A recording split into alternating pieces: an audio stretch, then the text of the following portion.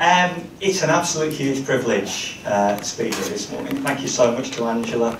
Thank you to Evelyn over there who's been chatting to me over the last week or two and getting me up to speed with all the fantastic work that's going on in, in Scotland. So it's an absolute privilege uh, to be here. Um, I often think we probably don't make enough of the fact that in practice we've got four different public service systems in the UK and we don't do quite enough learning from across the different parts of the UK. So it's a fantastic opportunity for me just to hear about what, you, what you're up to in Scotland. And I was just going to take 20 minutes or so, as Angela says, just to um, talk a little bit about what's happening in England at the moment, some of the pitfalls of what we've done, some of the good things maybe in what we've done. So I don't really come to recommend the English model or to bury the English model. I just come in to come in the spirit of learning really um, and tell you how it's worked.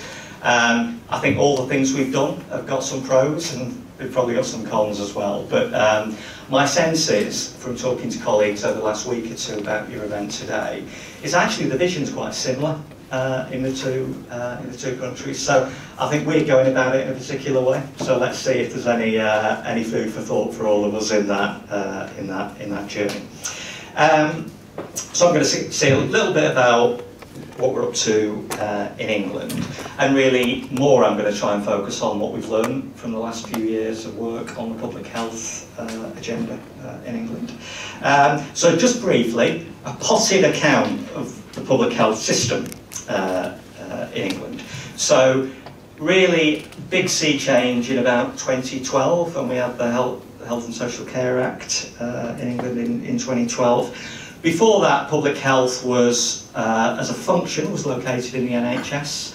You know, we have commissioner provider ITIS in England, so it's kind of part of the commissioning uh, structure um, in the NHS.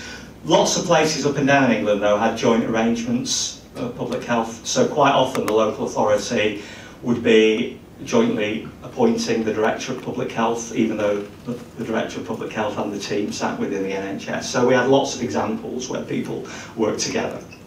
But coalition government came along in 2010 and the deal they did on the NHS, I'm not sure anyone quite planned the deal, but anyway, it ended up where it ended up with a bit of Lib Dem influence and a bit of Conservative influence. So we ended up with the public health profession, as it were, transferring into, into local government we ended up with a ring fence grant uh, for each local authority to spend uh, on public health. We had, we had a public health outcomes framework nationally that talked about all the outcomes that we were all expected to work on.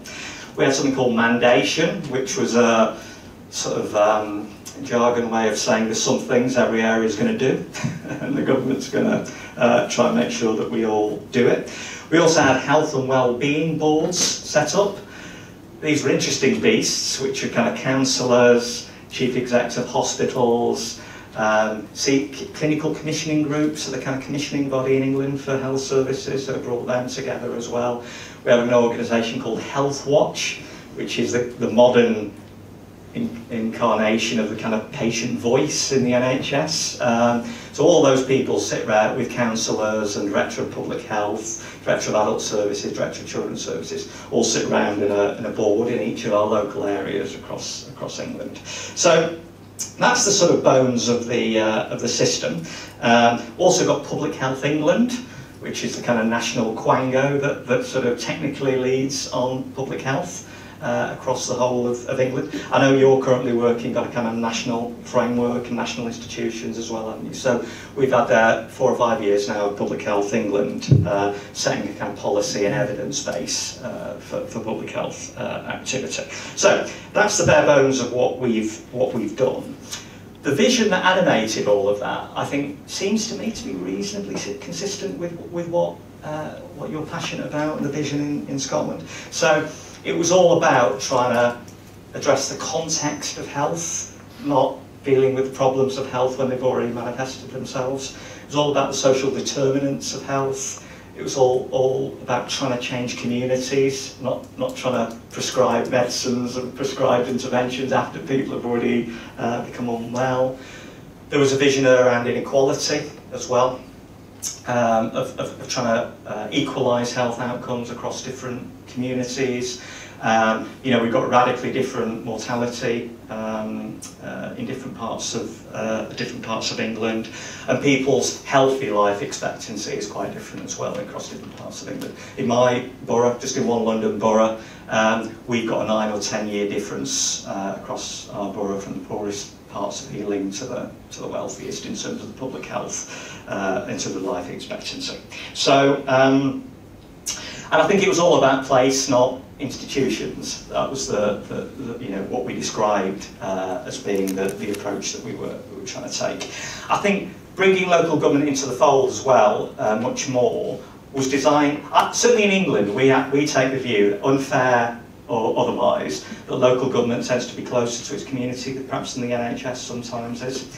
Um, you know, the NHS is a much more nationally driven system in England, so the feeling was in terms of community empowerment, community development, local government could bring something to that uh, to that part. So that was the animating vision, and um, I always, uh, I, all of you I'm sure know Professor Michael Marmot, so I always hang on to, to his kind of advice on these matters. So he always says, you know, the, key issues on public health are income levels, good start in life, decent job, decent education and skills, a decent place with leisure opportunities, community connections, good housing, uh, and some good services that underpin that. So when you look at that kind of list, good job, good start in life, income, education and skills, uh, a good place, that really is called local government territory, isn't it? And that is also the primary drivers of the public health uh, agenda. So there's a certain logic. And apart from all of that, the uh, reforms in England were also designed to try and better integrate health and social care system uh, across the country as well. So we set ourselves quite a, quite a tall order. Um, as you'd expect, we, we've in truth had a mixed uh, result from all the, the activity that's, that's, that's gone on. Um, some of the opportunities that I think we've, we've, tried, to, we've tried to grasp uh, as we've wrestled with it over the last three or four years. The first thing is, the way I describe it, this is trying to hitch the political engine to the public health train.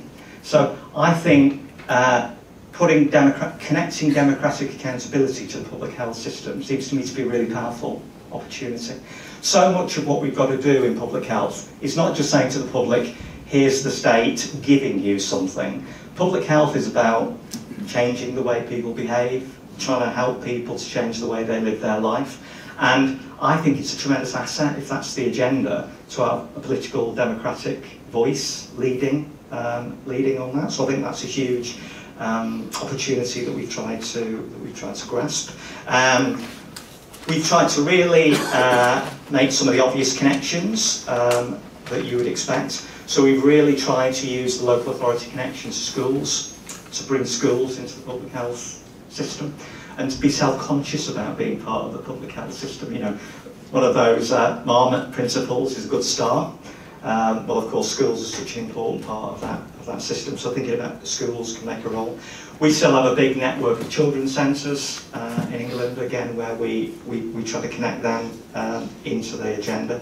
A really important opportunity has been around regeneration, economic development. So some of the best examples of local government grasping the nettle on public health has been the regeneration agenda, where we've really thought, uh, we've got so many different names for plans across the UK, but you know, our local spatial vision, is that what we, is that a general way of describing the things that we do? But anyway, the spatial vision of the place and the planning policies that go with it, there's such a tremendous set of opportunities there about designing health in to development, uh, designing health into our communities, space for cycling, space for leisure, space, space for, for parks.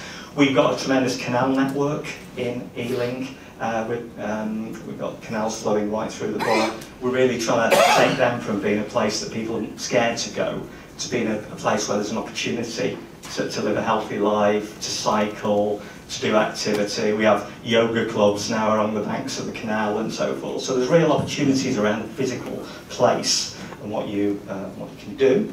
We obviously run regulatory services, and again, tremendous opportunities there um, around trading standards, around regulation, um, etc.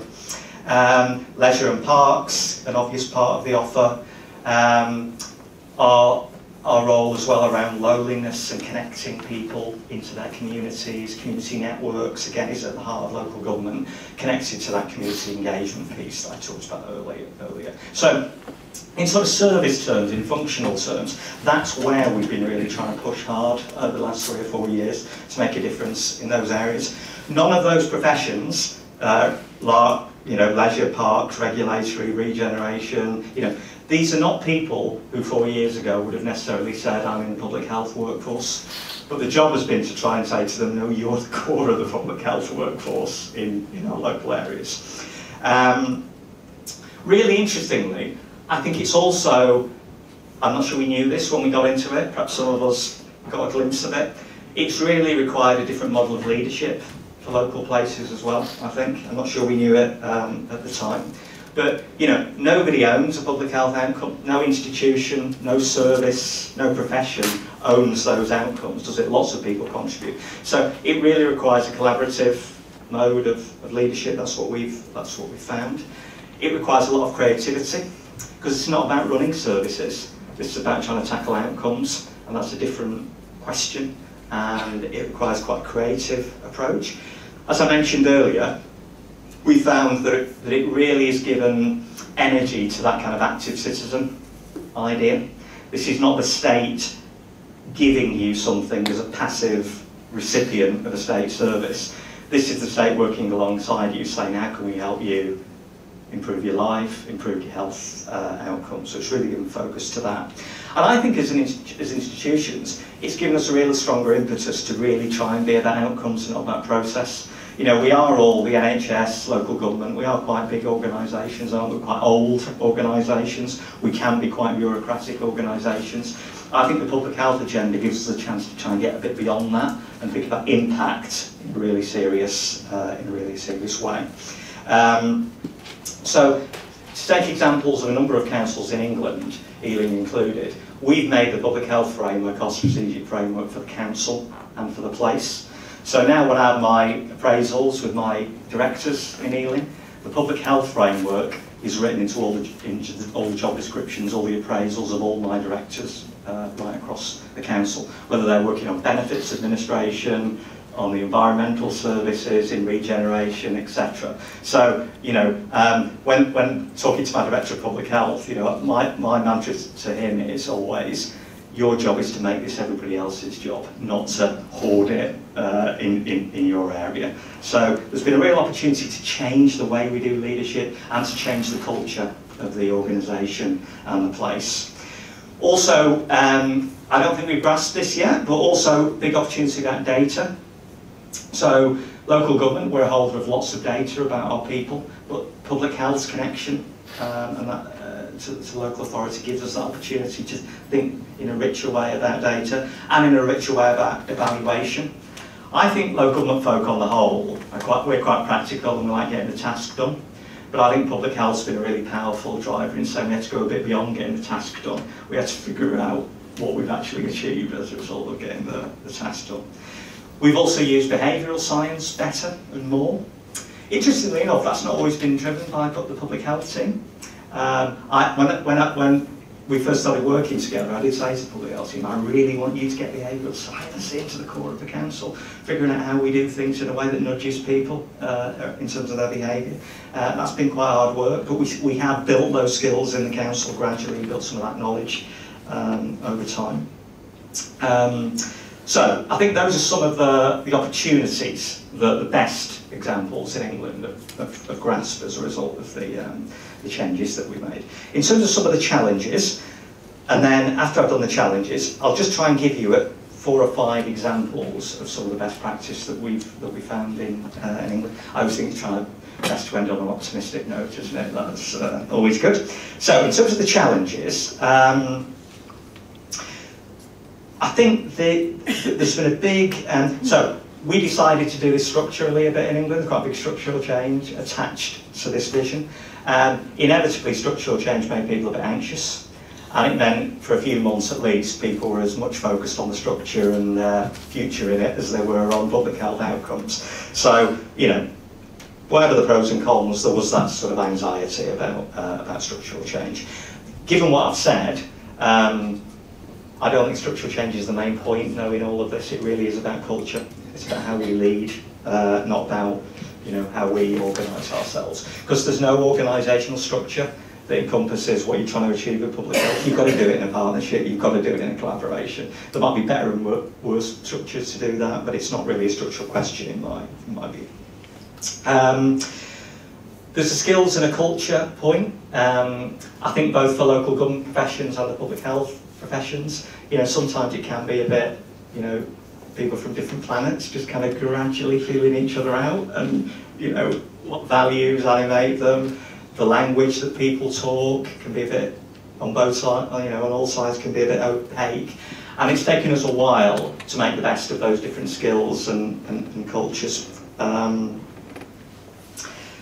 I think um, one of the things that we've attempted to achieve is cashable savings as a result of, a, a, a, this kind of vision of public health.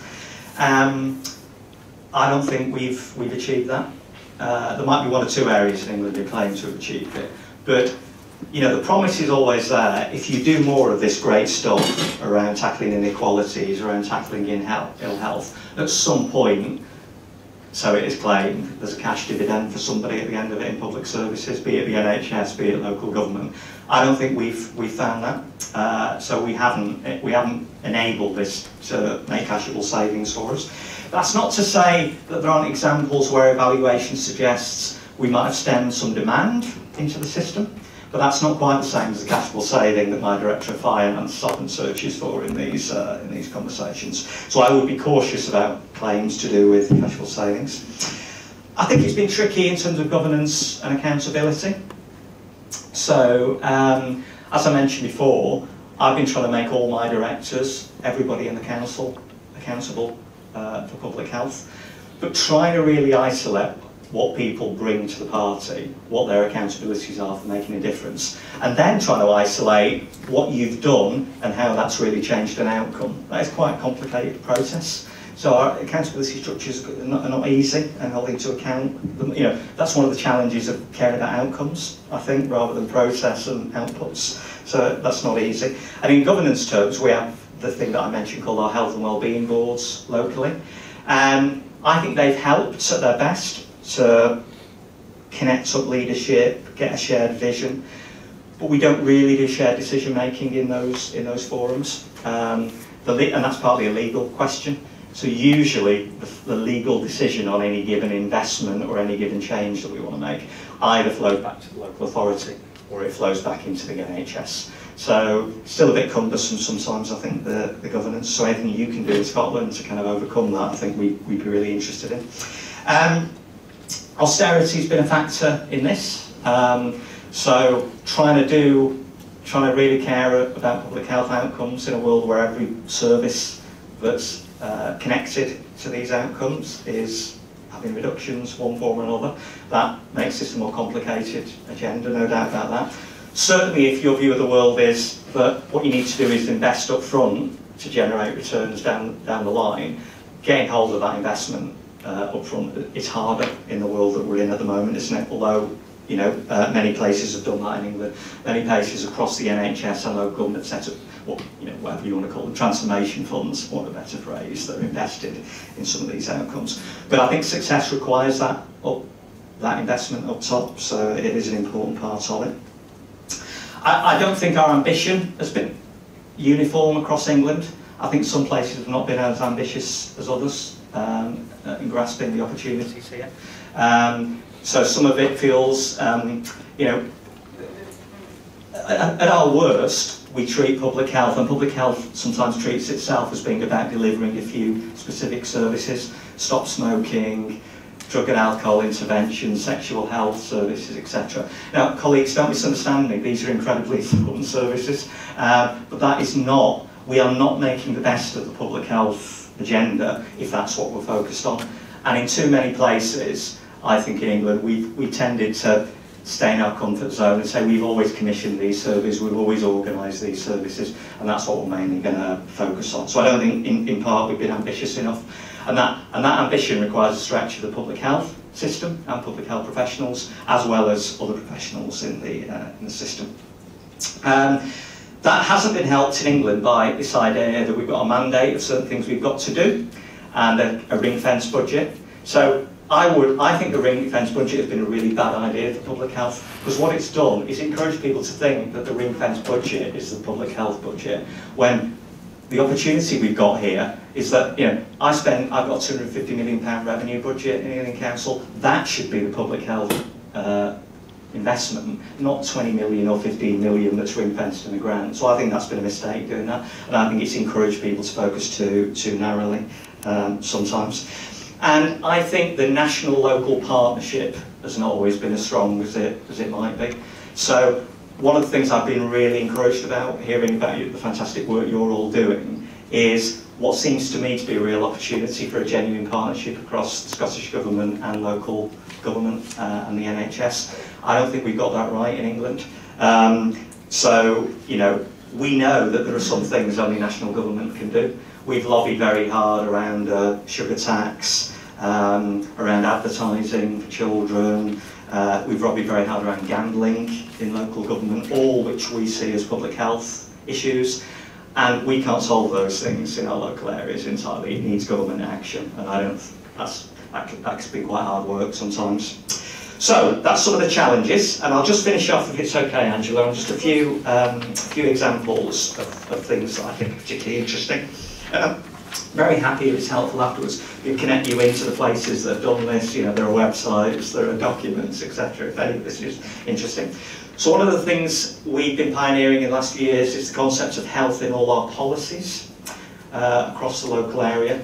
So it's a toolkit that we've developed across England, which is all about saying whatever the policy that local authorities are uh, developing, whether it's your local development framework, your regeneration strategy, your adult social care strategy, your you know, how you, how you look after children, etc. There's a toolkit that uh, local authorities use now up and down the country, which is all about how you embed public health principles and how you embed public health outcomes into the work you do across all those policies. And we've got some fantastic examples. Uh, you know, personally, I think the regeneration stuff is some of our biggest achievements um, in England. There are some boroughs that absolutely embedded the public health thinking into the way they're thinking about their place, into the way of thinking about economic development, and it's really impressive stuff, some of it, so I would, I would really commend it to you.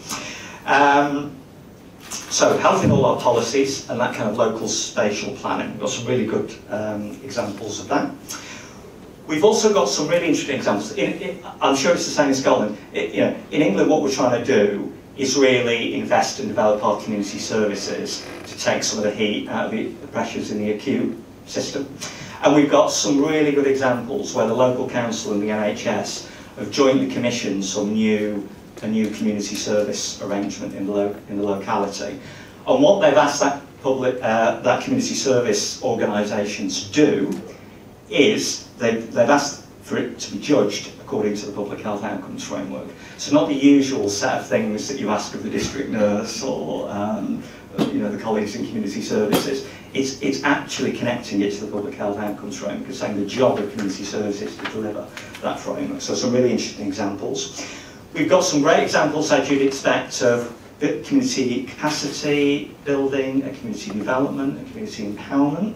So the idea it's not the council or the NHS doing this to the community, it's trying to get champions within the community who advocate uh, uh, this uh, agenda. So some really interesting work um, we've done there. I think we've made a better go from a local authority point of view of thinking about the digital agenda of public health as well the NHS in England doesn't have always the best track record in terms of implementing IT solutions and digital solutions. And I think we've been able to be a bit more organic about that across our local areas. So we've got some fantastic new models around sexual health services and access to sexual health services via a digital route, which is really uh, excellent.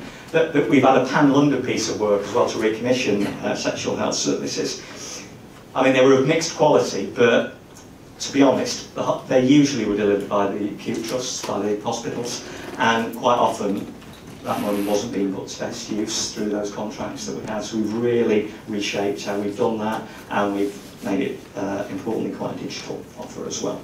And I'm really proud as well that through local government collectively, we've really championed um, changes around gambling, uh, changes around taxation of sugary drinks and sugary products, um, ch and changes around advertising as well. And I think that's local government at its best, actually saying we've got a responsibility in this area. It's a very broad responsibility, and part of our job is to work collaboratively with national government to make national change as well as local change. So that's a bit of a flavour of what we've been up to uh, in England. I hope it's of some interest. Um, I'm hugely impressed with the hard work that you're all doing in, in Scotland, and it's been a great privilege to, to be here today, so thank you, and I hope we get a chance for a little bit of dialogue as well.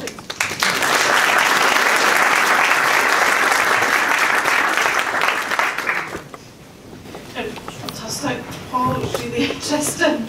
Uh, I guess what was a four or five year journey we, we, we got to hear about in, in, in 20 minutes, but lots of parallels and, and, and lots of things for, for, for us to, to prompt it a wee bit more. So I'm going to open it up to the floor, and it doesn't have to be a question, just a comment or a, or a reaction, but equally if you want to put a question, that's, that's so show of. I'm going to struggle at the back. I think, um, Mark, as I mentioned, we can move this flip chart down down at the front and we get to the back, that would be great.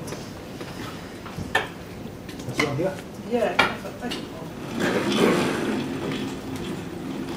I think we've got, we've got microphone now as well, so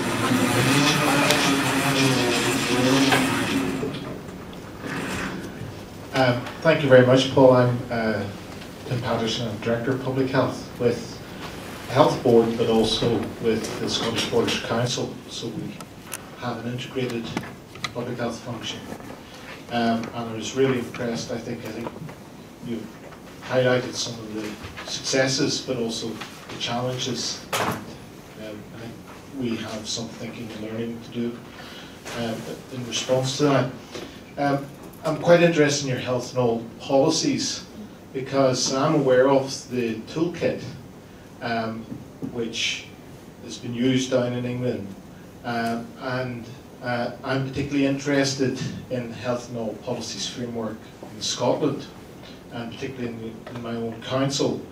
Uh, I think one of the important things we have to do, and it's what we discussed earlier on at our table, is raising awareness and the vision that you've put forward, uh, and put forward by other speakers, that it's really everybody's responsibility is important. So I think there is a big training requirement. I think the toolkit was extremely useful, uh, and certainly whenever we've used it, to actually raise awareness of how everything is interconnected and how we must avoid silos and how that these complex problems can really only be resolved uh, or uh, mitigated by actually working together. So I think that toolkit is something we should be thinking about in Scotland and I'll be having some discussions with my public health colleagues about whether we could tartanise some of those ideas because I think it is a useful way of raising awareness and seeing, making connections between the, the, the goal and the outcomes that we're trying to achieve and then the individual roles that people have within local authorities and other local agencies. So it was good to hear that you think that that's an important tool and think it's something that we should be thinking of locally in Scotland. Just, just offer a comment, Angela, on that. Uh, thank you. Uh, it's really interesting to hear your perspective. And I think um, one of the great opportunities in all of this is I think it takes you back to public service values, uh, the public health agenda. That's one of the reasons I really warm to it. So it's been a pretty tough eight, nine years, hasn't it, one way or another across public services. And I think the great thing that the public health agenda offers us is a chance to kind of reconnect for our staff and our organisations back into kind of purpose. You know, why people get out of bed in the morning. So I think the best councils have not necessarily said in England, hello, here am I, the chief exec or whoever, I'm here to talk to you about public health outcomes framework or the public health agenda. What, we, what I think the best, what I think the best examples do is say, we care about impact, we care about outcomes, we care about equality. Um, isn't that what we want to shoot at as an organisation? And it's actually just kind of connecting people to that purpose. Uh, and then when you've kind of had that conversation about purpose, which is really the, the purpose that the public health agenda gives you. You then, the next stage is, and here's some tools, you know, things like health in all our policies. That's a very helpful practical tool that you can give people. And it really has proved useful. Because when you start winning the hearts and minds, people very quickly start asking questions how can I, how can I do this? You know, I'm an environmental health officer. You know, how can I make use of this? And, and so having some practical tools is, is really valuable at that Great, thank you for, for, for that, Ken. Any other questions, comments, reactions?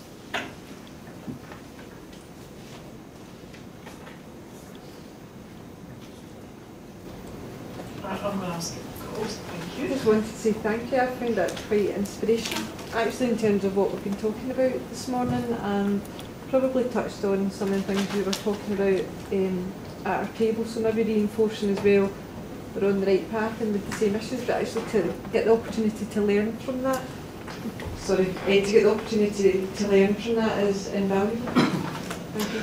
Well, I think the um, learning is quite an important word, word in the context of public health, I think, because I, I was hoping when, uh, and of course I knew my public health director before we had all the structural changes, but I was hoping on day one I'd sit down with my director of public health and I'd say, right, better housing, better jobs, better incomes, you must know how to do all this. And you, you know, you've written the plan already. Um, but the truth is, when you're trying to tackle outcomes, nobody really, you know, there isn't, you know, public health is rich in evidence, but that, but that's not always the same as saying public health is rich in evidence about what works to make a difference to the outcome. And therefore you have to adopt, you have to take a bit of a risk, I think, and you have to take a learning approach. Um, so, you know, I, I do think experimentation is and learning is an incredibly important part of this. And, it, and it's not, um, it's not sort of training in the old-fashioned sense of somebody stands up at the front who knows the answer and who can tell people how to do it. It is genuinely collaboration, I think, across professions and, and, and try to build learning. So, I, you know, I think it's quite a, one of the reasons I love it, it, I love this whole agenda, is because it gives you a good way to do change and it gives you a good way to improve public services. So it's a great, it's a great opportunity. Great. Any other? Hand it back to to to get you the microphone. It's okay, I'll be quite quick. Um, I just wonder if there's any examples of behavioural change. You talked about where you've used nudge um, and on the behavioural side. Any examples that are quite interesting for us? So it was examples of behavioural change. Yeah, yeah. Um, so we have a number um, across England that we've, we've brought together. Uh, we've, we, every year we do a kind of annual report on kind of interesting stuff in, in public health. So we've got a number. Um, and they're often in uh, physical activity area. So we've got some really interesting examples where people have done a lot of hard work in particular communities to really change uh, patterns of physical activity. We've also got some quite good examples about car use. Air quality is quite a big agenda now in, in English cities. Uh, so increasingly thinking about cycling, thinking about how you design the public space to get people out of their cars. Uh, we've got some really good examples of that uh, as well. So those, those are a couple of the main areas. So I can point you to specific localities that have done it. The challenge is, I think, the scale, how you scale it up. So what we've got are quite a really interesting, uh, thoughtful examples in particular neighbourhoods or particular communities. The challenge is how you keep it going and how you scale it across a city or an area, you know. Uh, that's the bit where we haven't, we haven't quite cracked it. Especially you'll appreciate things like transport. It's a kind of, you know, you, you can make a bit of progress in a neighbourhood or in a small geographic location, but it's usually a much bigger systemic issue, isn't it? So um, those have been some of the better uh, areas. We've got, you know, like you in Scotland, we've got some good examples around stop smoking um, as well. Um, and some of the sexual health work we've done has been quite innovative in trying to not just engage with people when they've, you know, uh, they're in difficulty, but trying to trying to work with people upstream. So we've got we've got pockets of really interesting learning, and the, the, the challenge for the system now, I think, is scaling it up.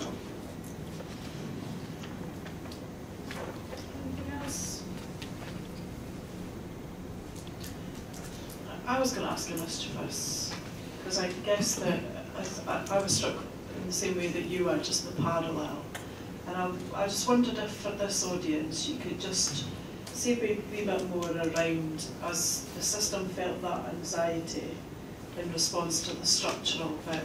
What did that kind of look and feel like, and how did the collective overcome that and start to? Because you've painted a lovely rosy picture now, uh, having kind of swept through a few, few years. But why don't just unpack, I guess, what made the difference to help at that locality level? Because I guess that's where we're all going to start to really be focused on. Well, I think the um, usually in any kind of cultural change or any structural change, there are a few myths get going quite early on, aren't they? So there was one myth that I don't know if anyone really holds these views, but it's kind of helpful to name them, isn't it? So one myth was that there would be there would be councillors who couldn't wait to get their hand on public health services and do all sorts of weird and wonderful things that had nothing to do with evidence, that were all politically driven, whatever that means, you know. And so, but would you know? So one myth was politicians not interested in evidence. There was a myth that um, I don't know if anyone held it in local authorities. Oh, this public health thing, the NHS hasn't made much of a go of it over the years, so we're going to get it now. We're going to, we'll own it. We'll, we'll kind of shepherd it now, and we'll sort it all out, and you know, shake it all out. So that was another. Um, that was another uh, sort of myth that, that, that was around. Um, I think for public health colleagues, there was a fear they'd be a bit isolated in the local authority.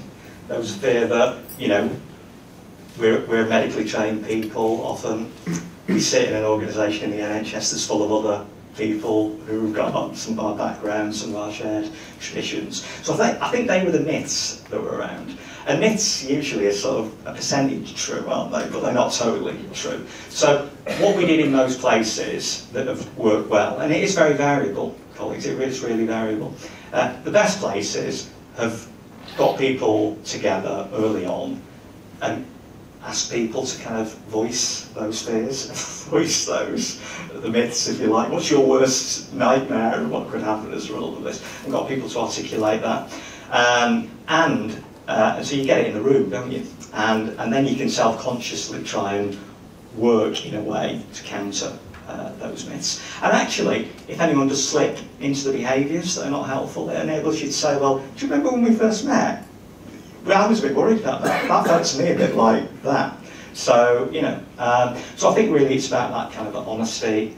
Um, in truth as well, it was very different. What, what local government, what, what, what the inheritance of public health is quite different in different places. Um, public health had been disinvested in, in some parts of England, when public health was part of the NHS. Um, so it's a very mixed, it was a very mixed sort of picture. Um, and some places started from quite a lot, from quite a low base. So I think what I'm describing to you is the best places have understood those fears and tried to counter them uh, and tried to deliberately work counter typically in that sense. Um, but not everywhere has worked perfectly. And some of those, some of those ingrained, some of the ingrained mistrust perhaps has persisted in some parts. I don't know if that's really an answer to the question. What's um, extremely helpful, and I just ask colleagues in the room to think about in the car park space that Mark put up in the, the back, that we're all thoughtful about what are our fears and anxieties if we do have any, and that we kind of put them on the on the table so we can start to, to talk about them and, and start and start start to hear them. Uh, Paul, I think that's been an incredibly um, rich contribution that, that, that you've made today. I'm, I'm kind of sorry that we're not able to, to hear you for long. I think you're staying for a long. I am. Uh, for, for a bit, and while we all go and do our daily mile over our lunch, uh, while, while we all do that and some healthy lunch, uh, you're very welcome to join us. And I just encourage colleagues to talk to Paul while he's here and just hear a wee bit more about, about that experience. But please join me in thanking Paul for his contribution.